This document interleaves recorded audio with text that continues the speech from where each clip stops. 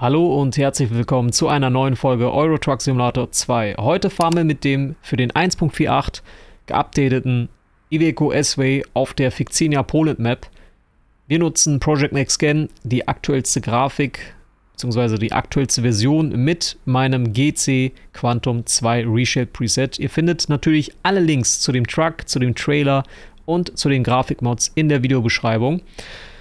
Wir fahren von Sobotka, das ist eine Strecke, die wir noch nicht gefahren sind, nach Winsko. Und äh, ja, dann haben wir schon mittlerweile fast alles hier auf der Fictinia Poland Map erkundet. Und äh, ich hoffe, die Pro-Modes erscheint jetzt irgendwann die nächsten Tage. Ansonsten wird es echt knapp. Ich bin jetzt wieder ruhig. Wir starten den Motor. Ihr kennt ja das Prozedere. Von außen starten, von innen starten und dann losfahren. So.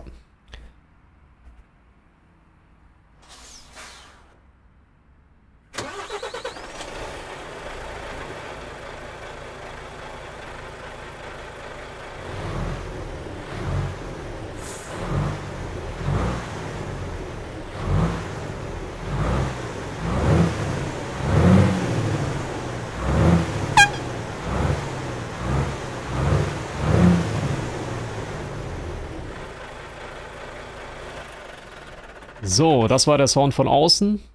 Und äh, jetzt gehen wir natürlich in den Innenraum. Zündung an. Fenster ein bisschen runter.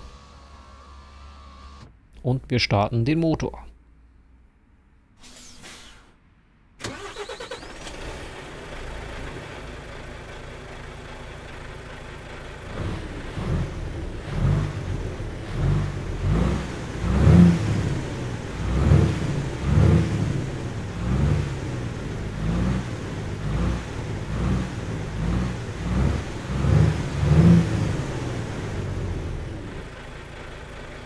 So. Also, wie gesagt, ich kann euch diesen Truck empfehlen. Das ist mein Lieblings-Eveco. Ich weiß, da gibt es nicht so, viele, so viel Auswahl, aber es ist wirklich sehr schön gestaltet. Man hat auch hier, wie man oben die Magazine da sieht, da kann man auch alles konfigurieren und ähm, Funkgerät, Tachograph, ist alles da. Lenkradvariation, Sitzvariation, also wie gesagt, Link findet ihr in der Beschreibung. Und ich würde mal sagen, wir können langsam starten. Das ist übrigens Spielzeit 16.02 Uhr. Also wenn wir Glück haben, kriegen wir die Dämmerung mit rein, Sonnenuntergang. Das sieht dann immer klasse aus. Ich fahre wieder mit meinem Opticruise Shifter, also mit diesem Shifter hier oben. Blinker ist auch klar, Retarder haben wir auch. Und äh, ja, dann würde ich mal sagen, ich lege mal den Gang ein. Richte mal das Mikrofon ein bisschen näher ran. So. Lösen die Handbremse. dann würde ich mal sagen, wir können losstarten.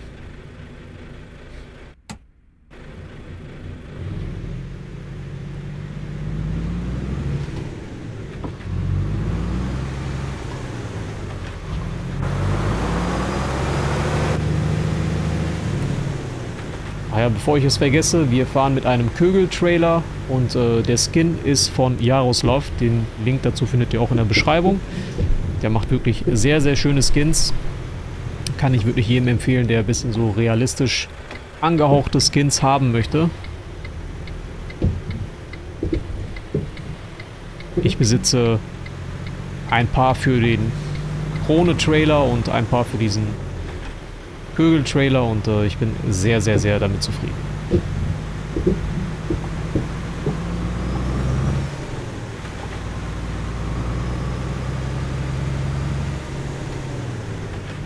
Ja, schön hier im Industriegebiet in Polen. Können wir ein bisschen die Scheibe hoch machen. So. Hier warten die Kollegen. Entweder zum Ausladen oder Pause, je nachdem.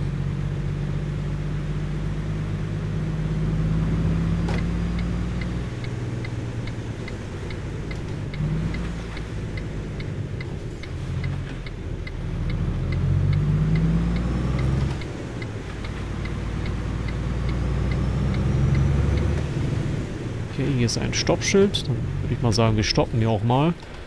Da hat die Stadt wohl mit den Schranken gespart. Oh mein Gott. Oh mein Gott, was ist denn hier los? Was ist denn hier los? Also das muss mir jetzt einer erklären. Was ist hier passiert? Okay. Da haben wir ein... Da sind wir richtig in die Scheiße geraten, würde ich sagen. Kommt der doch noch raus? Ja, komm. Ey, das kannst du keinem erzählen. Also... Was hat man sich denn jetzt dabei gedacht? Also das ist ja wieder...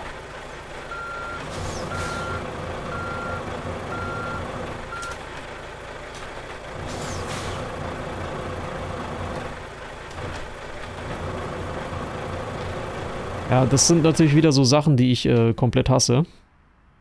Machen wir den Motor aus. Also das ist wirklich katastrophal. Gerade bei einer Aufnahme. Ich sollte jetzt normalerweise die Aufnahme neu starten, mache ich aber nicht. Ich setze ich setz den LKW ein bisschen nach vorne hin. So, ich hoffe, das ist genug. Also wieder alles gesehen. So.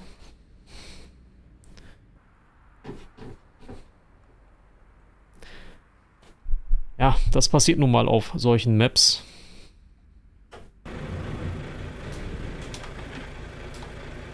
Jetzt hat sich das auch noch verstellt. Super.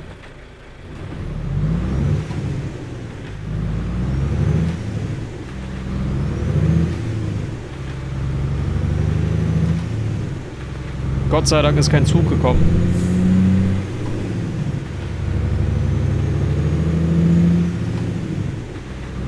ist schon sehr nervig. Also, das ist ja ein erheblicher Bug. Also. Und die Map ist ja auch nicht von gestern, ne? Also, die ist schon Ewigkeiten released worden. Naja. Schwamm drüber.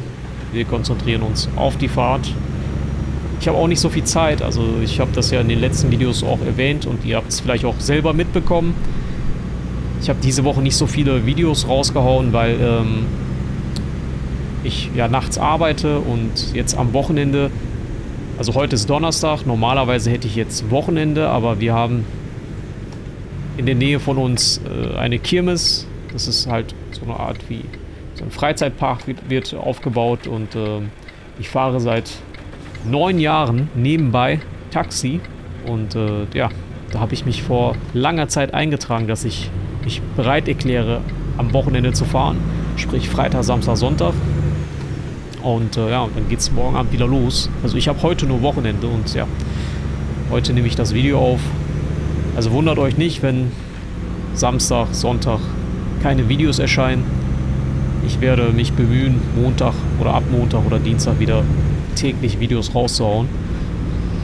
Das ist natürlich schwierig, Taxifahren ist immer so, man fängt abends 18 Uhr an und dann meistens so bis 4 Uhr morgens. Dann hat man auch schon alles wieder gesehen auf der Welt. Also nur mal so als kleine Info.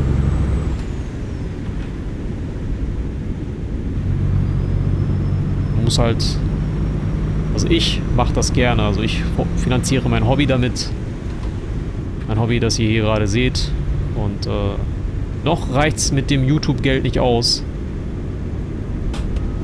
Noch nicht. Und ich denke auch nicht, in äh, zehn Jahren wird es auch nicht so sein.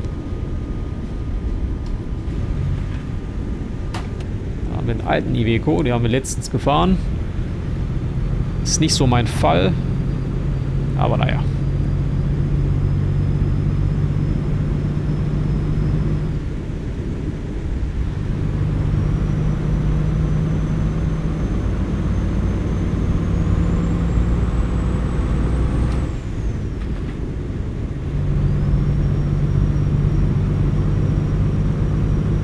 Total.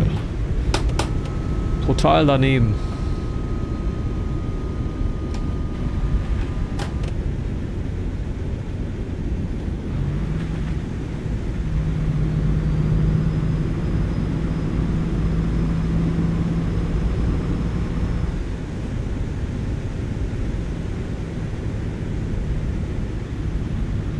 Ist aber sehr wenig Verkehr wieder hier heute in Polen.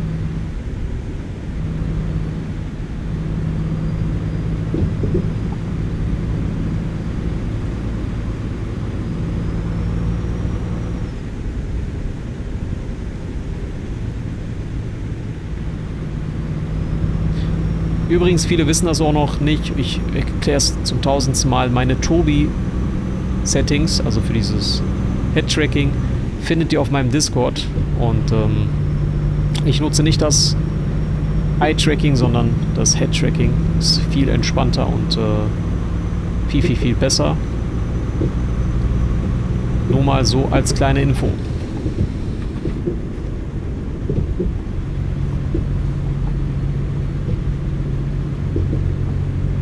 Ja, der Iveco, der federt schon gut die schlechten Straßen hier weg.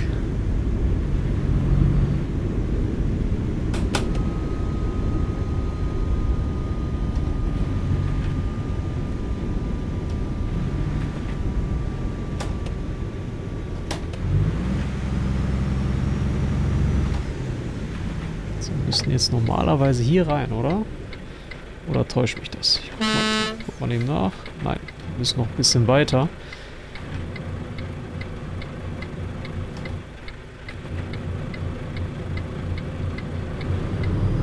Hier müssen wir rein.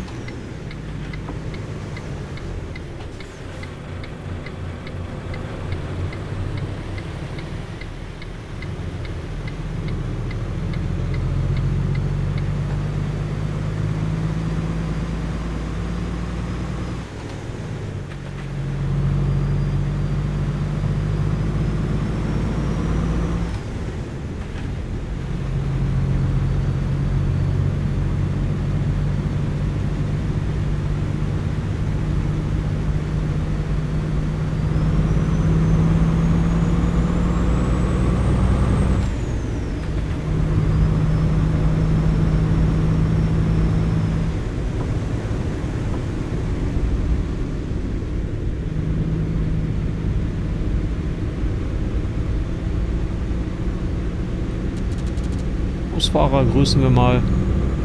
Wir fahren ja auch ausschließlich Bus in OMSI 2. Ich habe da so Spaß dran. Also ich habe ja, ich glaube gestern oder vorgestern ist ja ein OMSI-Video erschienen wieder auf der Aalheim-Map. Also ich habe da wirklich richtig, richtig Spaß dran. Das macht mir richtig Spaß. Auch wenn die Videos jetzt nicht so gut bei euch ankommen. Trotzdem, also wie gesagt, ich, das ist mein, ich habe da Spaß dran und das ist für mich das Wichtigste. Ähm, da wird auch in Zukunft viel, viel, viel mehr OMSI auch noch folgen natürlich. Aber Euro Truck Simulator natürlich auch. Ist auch unser Hauptcontent.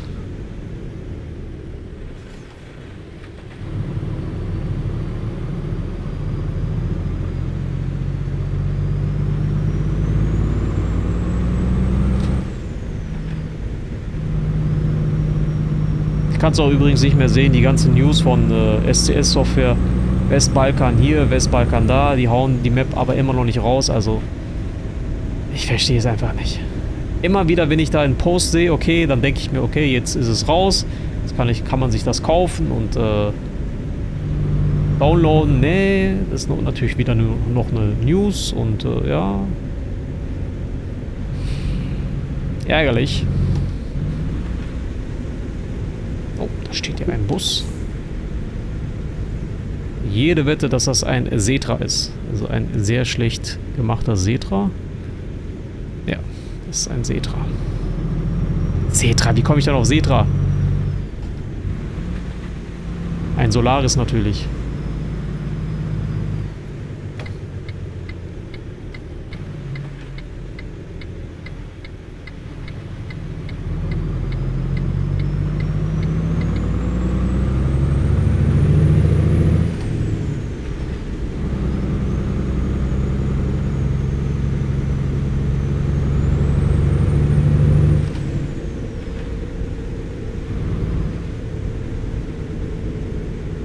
Sehr, sehr schönes Dorf hier oder Kleinstadt, wie man es auch nennen mag.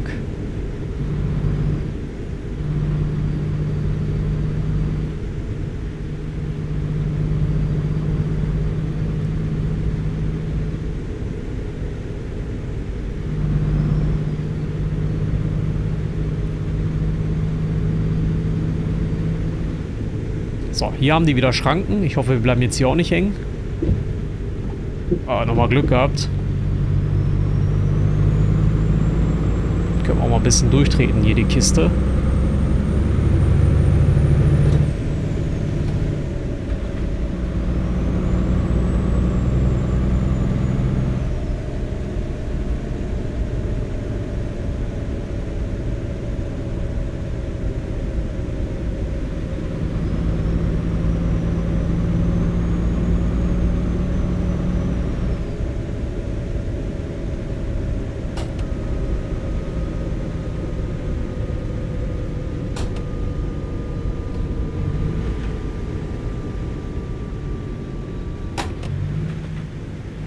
Auch sehr schön gemacht hier.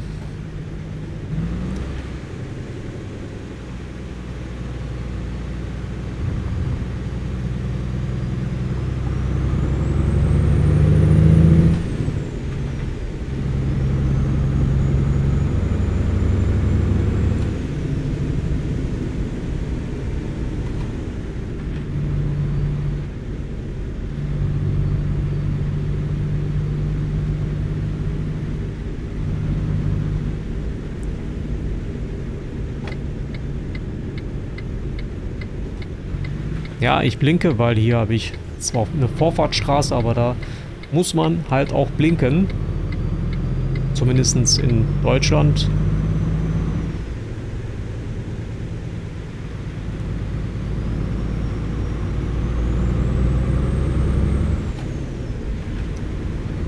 Ja, bis jetzt ist das Update ganz gut. Ich habe aber vorhin ein paar Arrows gesehen im Log-Menü. Ist natürlich nicht so gut. Und äh, ja, es fährt sich einfach genauso wie auf der 1.47. Also ist jetzt für mich nicht so viel an Neuerung für diesen Iveco S-Way. Ich habe zwar in dieser äh, in dem Update-News gelesen, dass da einige Sachen verändert wurden, aber jetzt nichts Großartiges. Also es wurde halt nur ein bisschen angepasst für die 1.48.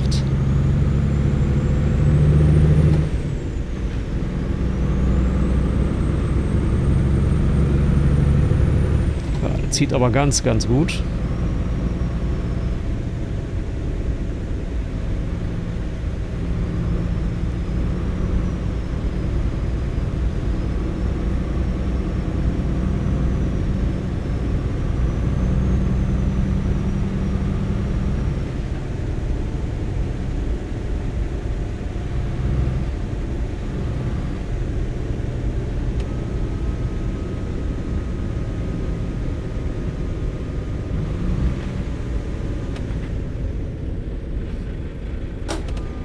Okay, jetzt ist wieder irgendwas passiert. Ich verstehe das nicht.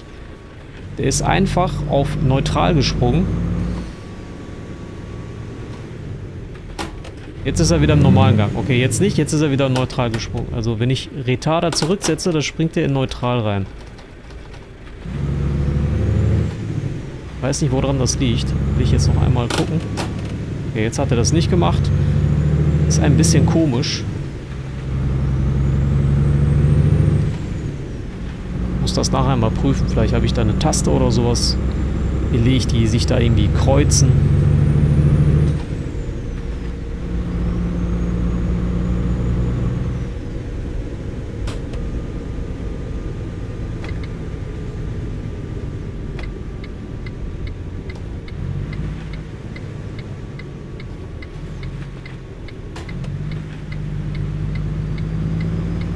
Jetzt geht auch langsam die Sonne unter. So, was ist jetzt passiert? Also, ich weiß nicht, warum mir das immer passiert. Also ich bin hier... Wo bin ich jetzt? Bin ich jetzt gegen diese Verkehrsschild gefahren? Nein. Und da stimmt doch irgendwas mit der Ampel nicht.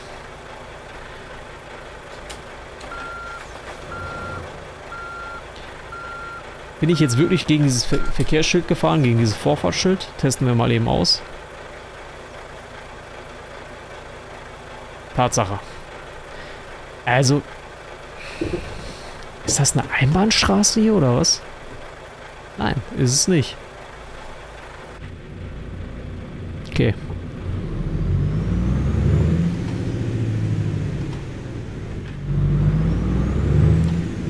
Also ich bin jetzt knapp 10, 15 Minuten gefahren und das ist auch mittlerweile die fünfte, sechste Aufnahme auf der äh, Fictinia Poland Map und ich habe bei jeder Aufnahme zwei, drei Bugs.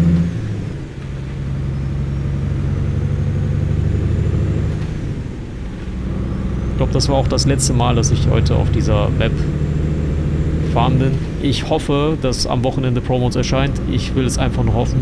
Promotes ist die Rettung. Ich weiß, es gibt auch viele andere Mods, aber also Map-Mods.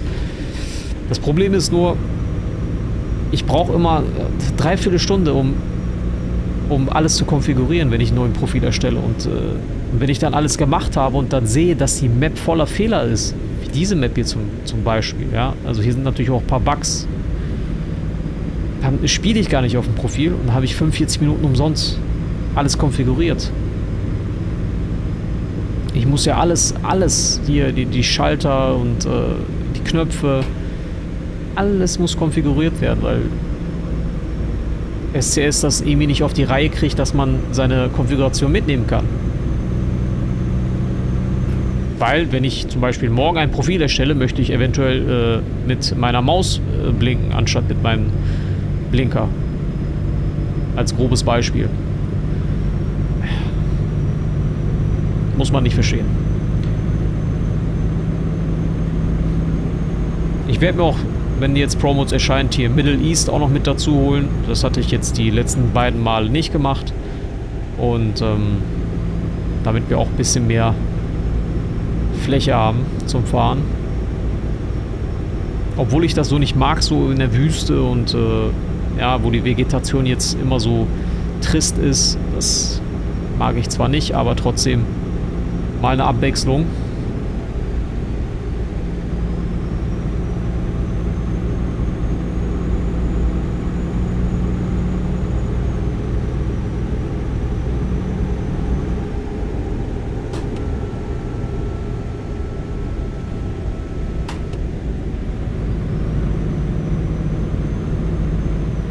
sagt dann der Tachograph, läuft er mit?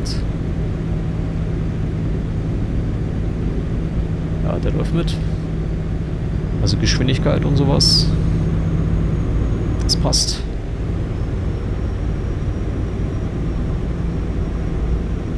Jetzt stellt euch mal vor, ihr werdet hier im Spiel rausgezogen und äh, da wird da wird das halt kontrolliert, ne, ob man Geschwindigkeitsüberschreitung Überschreitung hatte und äh, die Ruhezeiten eingehalten hat. Also es ist so viel Potenzial in diesem Spiel, so viel, die müssen einfach nur das, was im wahren Spielerlebnis ist, einfach hier rüberbringen. Das kann ja nicht so schwer sein. Da muss einfach nur so ein Streifenwagen kommen oder keine Ahnung, da muss vorne irgendwo da hinten am Horizont, da muss eine Kontrolle stehen, ja, und dann, genau wie bei der Waage, da muss es halt ein bisschen piepen, dass du halt die Anforderung hast, dass du da anhalten musst, dann gibt es halt eine bestimmte Fläche, die blinkt dann meines, äh, meiner Meinung nach, so, und dann muss man sich da hinstellen, dann wird kontrolliert. Dann kann, können die auch so eine Filmsequenz machen. Die können auch meinen Truck durchsuchen, Zollkontrolle an Grenzübergängen. Also das ist, da ist so viel Potenzial. So viel. Ja. Eventuell mal an den Tankstellen so Shops einbauen, wo ich dann eventuell, keine Ahnung, äh, Wimpel kaufen kann oder einen Schal oder einen Kaffee ja, es gibt ja viele Leute, die spielen ja auch das Spiel immer noch mit einer, mit der Müdigkeitssimulation. Ich spiele damit ja nicht. Aber jetzt stellt euch mal vor, ihr habt so eine Müdigkeitssimulation an, fährt zur Tankstelle, holt euch einen Energy Drink oder einen Kaffee und dieser Balken für diese Müdigkeitssimulation sinkt dann. Also ihr werdet natürlich wacher, wenn ihr Kaffee trinkt. Ja, also so könnte man das ja auch ein bisschen pushen. Und äh, ich weiß nicht, was die da in der Redaktion machen. Machen die das vielleicht nicht wegen Performancegründen? Ich weiß es nicht. Also im Jahr 2023, da könnten die meiner Meinung nach noch viel, viel, viel mehr machen. Wenn die das auf dieser Engine nicht hinkriegen, dann sollen die halt eine neue Version rausbringen. Das habe ich ja auch schon öfter gesagt.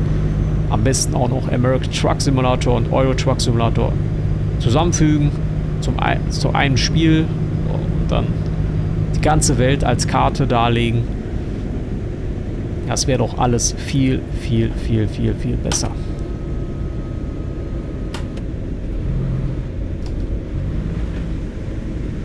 Könnten das auch meinetwegen als Erweiterung bringen, dieses Zollkontrolle oder, oder Tachografkontrolle, ja. Könnten die auch als Erweiterung bringen. Wer würde dafür nicht 4,99 Euro bezahlen? Wer? Klar, eine Minderheit würde sagen, ne, ich zahle dafür keinen Cent, aber das bringt ja das Spielerlebnis, die Simulation, also das ist ja eine Simulation, ja. Ich sitze ja hier auf einem äh, Playseat mit einem Lenkrad, mit einem Opticro-Shifter, mit einem Blinker, ja. Ich versuche ja die Situation zu, simul zu simulieren. Also ich versuche ja, mich in die Welt des LKW-Fahrers, äh, ja, mich da reinzubringen. Ne? So wie das hier zum Beispiel. Der will mich jetzt gerade überholen, baut fast einen Unfall und wir alle, naja. Also zu einer Simulation gehört auch viel aus der realen Welt, ja, was hier so ist. Jetzt stellt euch mal vor, als Beispiel. Ja, das sage ich lieber nicht. Das sage ich ein anderes Mal. Das kann ich jetzt leider hier nicht so sagen. Alles gut. Vergessen wir das sofort, ja. So, Themawechsel. Die Sonne ist noch nicht ganz unten. Wir haben 18.01 Uhr. Ich glaube, das wird heute wieder nichts mit äh, in die Dämmerung reinfahren. Wir müssen hier gleich wieder rechts.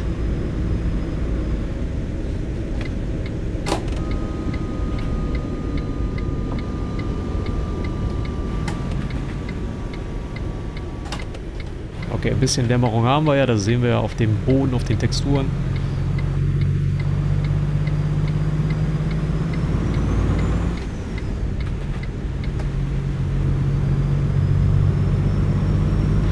Check mal eben kurz ab, wo wir uns gerade befinden. Ja, okay, wir haben ja noch Strecke zu fahren.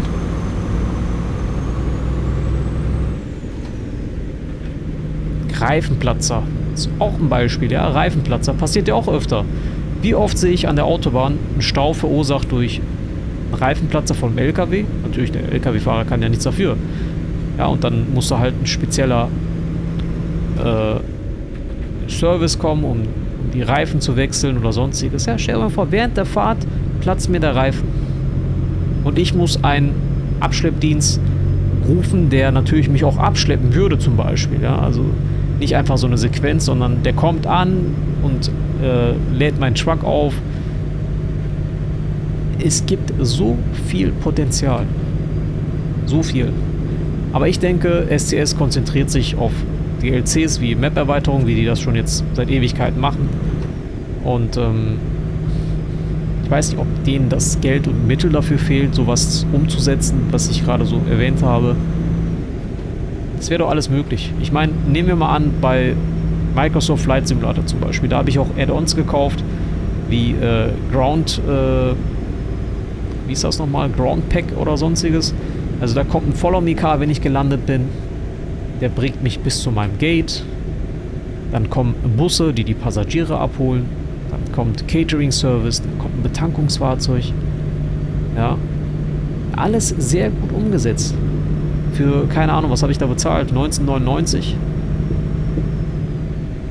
Also ich spiele fast jede Simulation deswegen. Also ich bin auch ein sehr, sehr leidenschaftlicher Flieger. Und äh, nicht wundern. Ja, es gibt so viele Möglichkeiten. Das reicht dann auch. Thema beenden.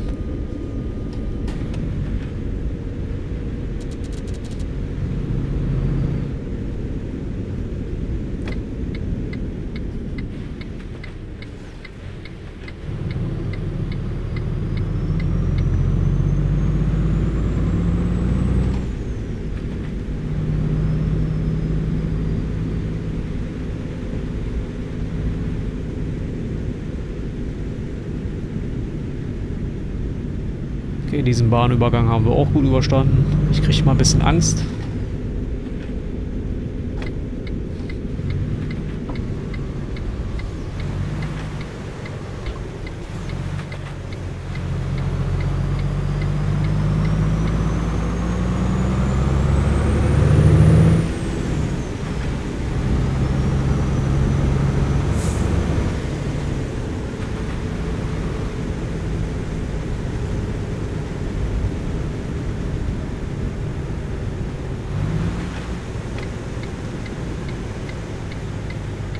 Marwix und Lubin. Okay.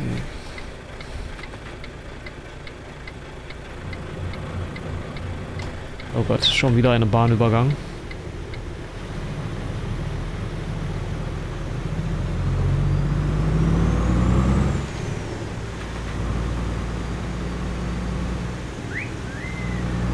Da wird was geklärt.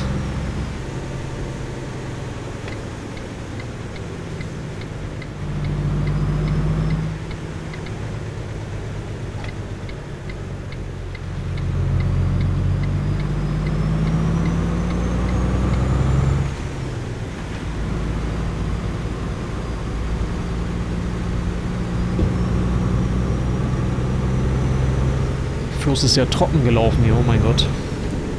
Ist nicht so gut.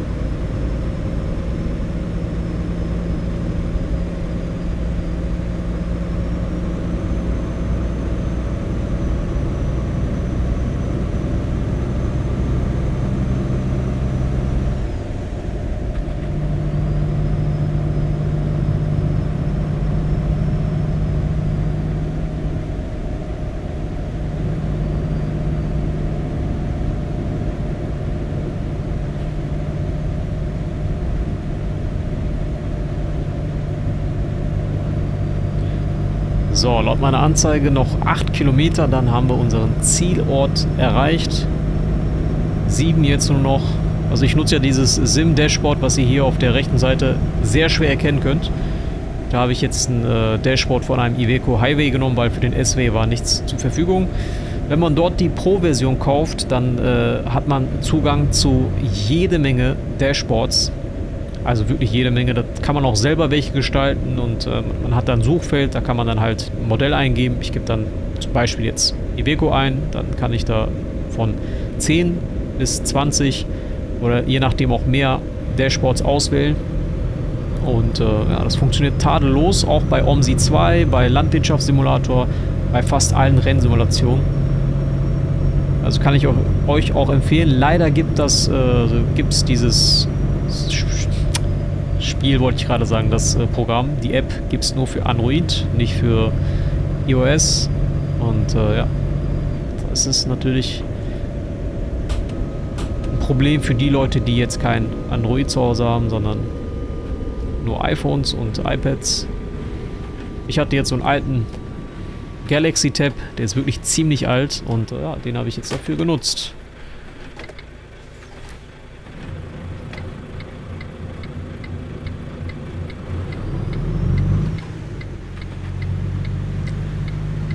So, wir haben unsere Zieladresse erreicht.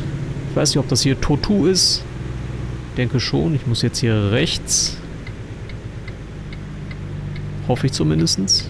Ja.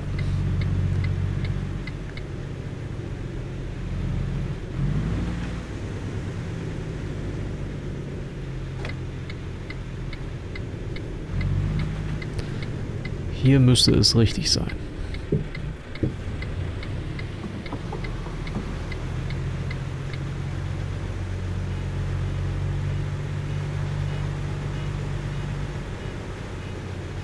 Wird da gerade ein Auto geklaut oder was? Also ich habe kein Fahrzeug berührt. Naja, ist ja auch nicht so schlimm. So, Handbremse, Gang raus. Dann machen wir noch die Scheibe hoch. Licht können wir auch mal anmachen. So, dann begeben wir uns mal zum Äußeren des Trucks. So, vielen Dank fürs Zusehen und ähm, könnt mich natürlich supporten, indem ihr einen Daumen nach oben lässt ein kostenloses Abo und ein Kommentar, dann pushen wir wie immer den Algorithmus.